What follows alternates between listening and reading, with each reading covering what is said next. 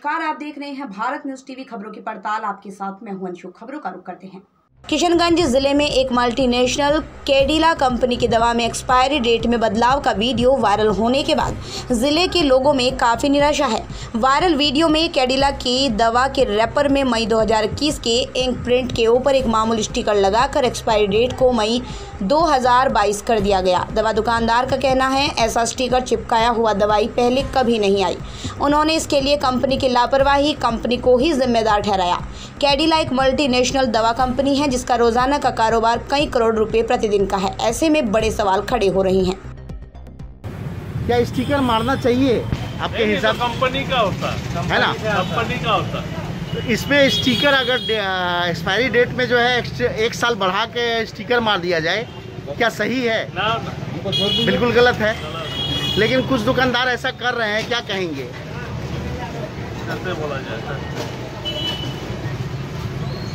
ये कंपनी तो manufacture date और एक्सपायरी डेट दोनों डाल देती है। दोनों डाल देती हैं। लेकिन अगर उसमें स्टिकर मार दिया जाए जा, गलत काम। है ना? चलिए क्या शुभ नाम हो आपका? कमल कुमार बिहारी।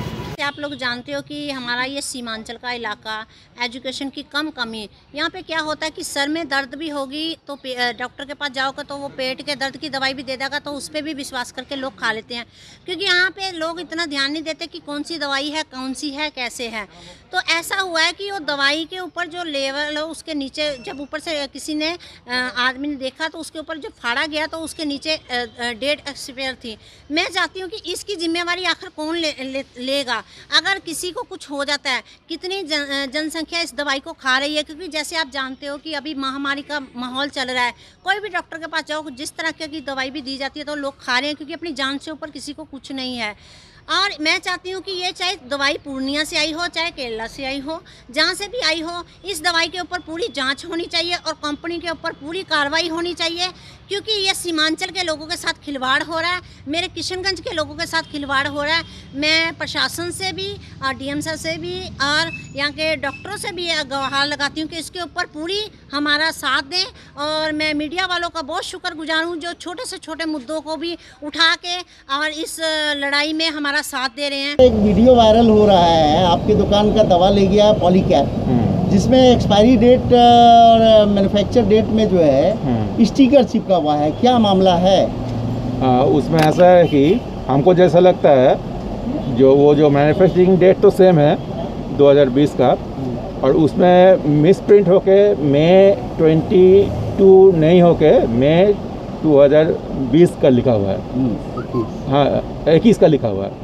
जो क्योंकि हर एक दवा का कम से कम डेढ़ साल का मैंने एक्सपायरी डेट होता ही है। तो उसमें स्टिकर चिपका हुआ। हाँ वो तो हमको वहीं से मिला। जसवाल डिस्ट्रिक्ट से हम पूर्णिया से माल लिए थे। हाँ। वहीं से वैसे ही आया। तो आप शिकायत किए थे जो स्टिकर चिपका ना हमको तो अभी देखे ना। मतलब ये वीडियो वायरल होने के बाद आपको पता चला? नहीं नहीं नहीं। तो? पहले ही। पहले पता चला तो आपको तो कंपनी को वापस कर देना चाहिए ना कि ग्राहक को देना चाहिए।